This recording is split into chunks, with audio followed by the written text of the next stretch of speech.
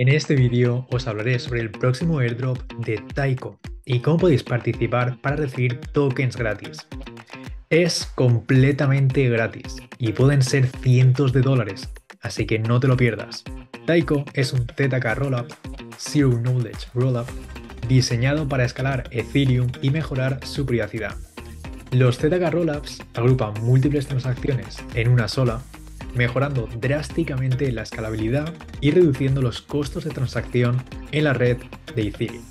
Taiko ya ha levantado 22 millones de dólares en financiación y tiene grandes inversores por detrás como Sequoia Capital, Generative Ventures, KuCoin Ventures o OKX Ventures, entre otros.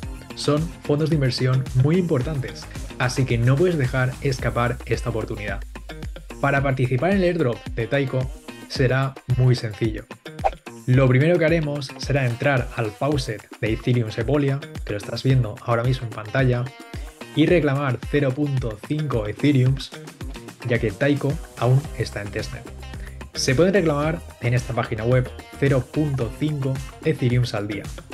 Y Sepolia es una red de pruebas para Ethereum, donde se pueden obtener tokens gratis para probar apps. Para poder reclamar los tokens deberéis iniciar sesión primero. En Alchemy Lobby, iniciando sesión sencillamente con vuestra cuenta de Google, ya podréis reclamar los tokens. Así que introduciréis aquí vuestra wallet, le daréis a No soy un robot y únicamente clicándole a Send Me recibiréis los Ethereum automáticamente. Una vez hecho esto, iremos al faucet de Taiko en su página web, que os la dejaré en la descripción del vídeo. Así que vamos a faucet y reclamaremos los tokens de horse o caballo en castellano en la red de Ethereum Sepolia. Es decir, estamos en la red de Ethereum Sepolia, ya tengo los 0.5 Ethereum que acabo de reclamar y seleccionamos el token de horse. Aquí le damos a mintear y minteamos los tokens que nos va a dar 50. Una vez que tengáis los tokens de Horse, el siguiente paso es transferirlos a la testnet de Taiko usando el bridge. Así que iremos al apartado de bridge, que es el primer apartado de la página web, este, y transferiremos nuestros Ethereum y Horse de Ethereum Sepolia a la red de Jolnir. Entonces, vemos mi balance de Ethereum bajado 0.001 al reclamar los tokens de Horse. No es ningún problema y podéis enviar la cantidad de Ethereum que queráis. Por ejemplo, podríamos enviar 0.4 Ethereum al día. Total, son Ethereum que se usan en la testnet y que no tienen valor real y que cada día podéis reclamar, como os he comentado, 0.5. Así que le damos a Reach y una vez los Ethereum han sido enviados, hacemos exactamente lo mismo con los Horse. Vamos a Horse y como vemos, aquí tenemos los 50 Horse que acabamos de mintear. Así que vamos a enviar la totalidad. 50 Horse. Primero aprobamos y una vez los tokens están aprobados, es el momento de hacer el bridge de los tokens de Horse. Vamos a hacerlo clicando al segundo botón. Cuando los tokens ya estén en la blockchain Jolnir, utilizaremos la DApp de Jolnir para hacer swaps, que básicamente es un fork de Uniswap V3 como estáis viendo ahora mismo.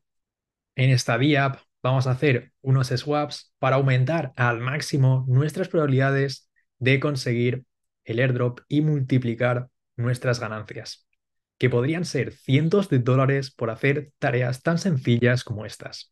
En esta DApp os recomiendo hacer cualquier swap de Ethereum por Horse y de Horse por Ethereum, ya que cuanto más hagamos, mejor será para el airdrop. Y como todo es gratis, al ser una testnet, mucho mejor. Vamos a hacer los swaps. Aquí tenemos Ethereum y seleccionamos como segundo token Horse. Podemos intercambiar 0.2 Ethereums a Horse, que nos dan 1369.1. Bien, vamos a hacer el swap y lo confirmamos. Por cierto, no os lo he comentado, pero para poder hacer esta práctica necesitaréis tener Metamask instalado. Quedo ya por supuesto que todos lo tenéis y lo habéis configurado previamente. Si no lo has hecho, tengo un vídeo sobre cómo configurar Metamask, que también lo dejaré en la descripción del vídeo para que lo veas. Bien, ya se han intercambiado los Ethereum por Horse, así que ahora podemos hacer exactamente lo contrario. Poner aquí, por ejemplo, el máximo de Horse e intercambiarlos por Ethereum en esta red de pruebas.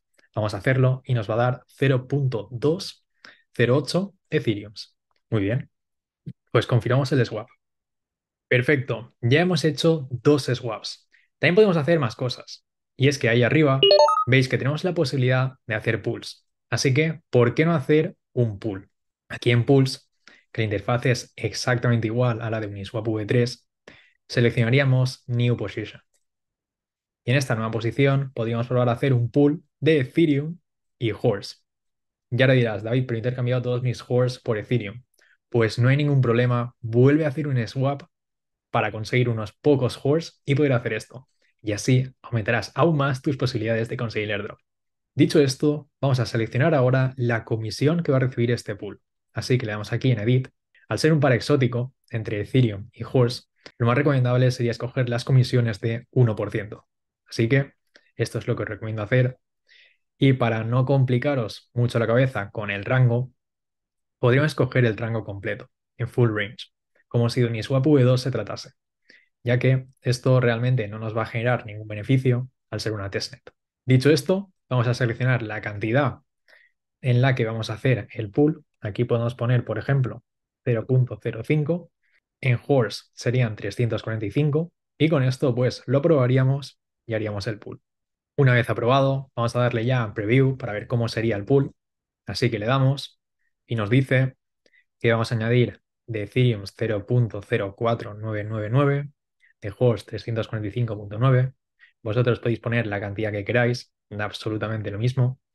La comisión 1% y luego el rango que yo lo he puesto de 0 a infinito.